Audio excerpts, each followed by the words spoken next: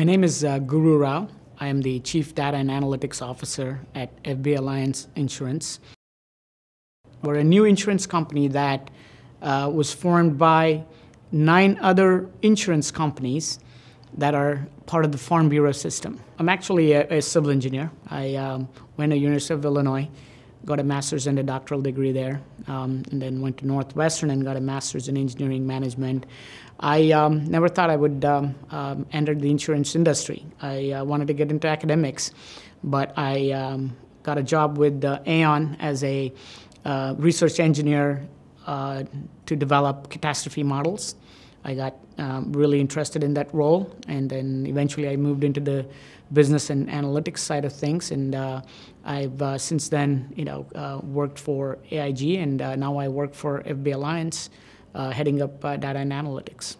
The goal of data and analytics is to really help our employees make um, decisions, their day-to-day decisions, using data and, and, and information from our business operations, uh, which is um, sometimes very difficult for companies that have been operating for a long period of time or have a very large global operation. Uh, us being new um, uh, in the in the industry, uh, we decided that we will start off on the right footing and make sure that every employee in the company gets access to information and insights every day, close of business, so they can make fact based decisions. And in 2017, we accomplished that by generating business intelligence and detailed information that is at the fingertips of our employees so they make decisions not based on some guesswork but you know based on um, information that's uh, very factual. Our uh, policy systems and claim systems are actually uh, at a third party um, location. Uh, we, um, we license that system uh, from, from a third party vendor. And so that information has uh, or that uh, database has uh, information about um, the quotes that we write on a regular basis, the policies that we issue on a regular basis, the, the claims that are reported, and additional information on billing and so forth.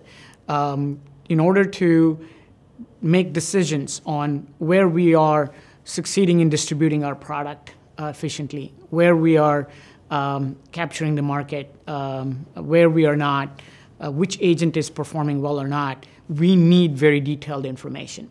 And that information resides in these third party systems that we license. So we have built a pipeline to pull all that information from the third party systems and bring it into our data warehouse, which also sits in another cloud. And then it serves a business intelligence system, which is in front of everybody's desktop. Production data that we um, synthesize and, and, and deliver to uh, our employees do not require a whole lot of um, inputs from the employees other than opening the report and maybe selecting the type of information they want. Um, so that makes it a lot easier for, for, for them to use that system.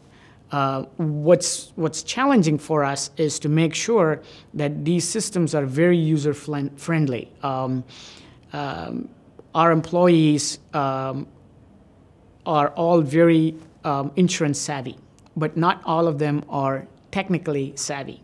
So um, we built uh, systems and reports that are very user friendly, simple, and easy to use so that uh, anyone, uh, even with the minimum amount of technical skill, computer skills, can actually you know, self-service those, those reports and be able to get the information they need. We measure the return on investment uh, in terms of uh, how the system, how often the system is, is being used for decision making. Um, is, is, is the company um, always running to the system um, to access data before they make critical decisions? For example, um, if we want to know uh, who are our top producing agents and, and, and, and why they are our top producing agents. and who are uh, not producing as well. If, if they are using this system that we have built to answer those questions, then we believe that this system is, is, is truly successful. We don't have specific ROI measures that we have put in place to quantify that, but we uh, believe it is successful when employees are using it every day to make decisions. Uh, our CEO, uh, to whom I report to, is fully supportive of uh, the um, analytics uh, initiatives and, and the systems we're building. Um, and uh, he believes that you know um, data and, and, and database decisions uh, have to be in the DNA of our company. We have reached a what I uh, call as the, the first stage of the Maslow's hierarchy of needs. Um, we have uh, built the data pipeline, we've, we've built the delivery of, of, of, information into our employees' hands. The next step is to take that and build deeper analytics uh, to, um, for example, uh, look at um, um what sort of uh, customers like our products. Um, how, how can we um, you know, segment that information and, and maybe market more efficiently to that segment that, that um, likes our products? Or uh, how agents are, are successful in distributing our products and what can we do to uh, enhance uh, the, the success measures. So we want to go deeper into uh, the, the customer information. Uh, we want to go deeper into sales information so that we can um, uh, help improve our top line as well as um, you know um, engage with our customers even more. We definitely have learned lessons along the way as as we um, developed our uh, data and analytics solutions. Um, the um, the fact that we had to simplify the uh, the reports and the information and the insights that we deliver to um, uh, our employees um, came out of out of um, the some of the some of the failures in in the sense that our um, our initial efforts uh, probably was was uh, a little too esoteric, uh, but but as we piloted some of the solutions, we it became quickly clear to us that we had to simplify things for our employee base. Uh, that was one of the big lessons that, that we learned.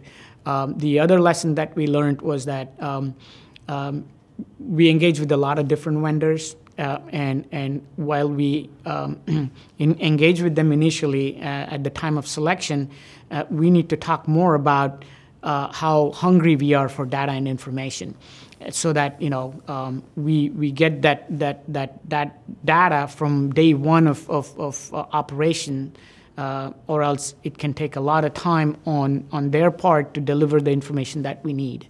So those are some of the lessons that we have learned. We would rather not uh, like to have failures, but um, when we when we do have failures, when we do um, take some um, um, you know missteps, we um, uh, learn from it. Um, uh, it, it. It's it's it's important in the in the sense that when we uh, falter, we don't try to cover it up. We acknowledge that that that we either didn't think through the problem carefully before uh, arriving at a solution, or um, we did not have enough discussion around um, a, a, a, solution. Um, and so um, we, we take those failures as um, you know, a way to uh, avoid them in, in, in the future um, and, and, and come up with better solutions. What I do on a daily basis is extremely interesting for me because in our company, data and analytics is just as much part of the operation as sales is, as marketing is, as finance is. So um, that uh, knowledge that you are not a back office person, you are not uh, someone who's uh, you know um, developing solutions that just uh, gather the dust on a shelf.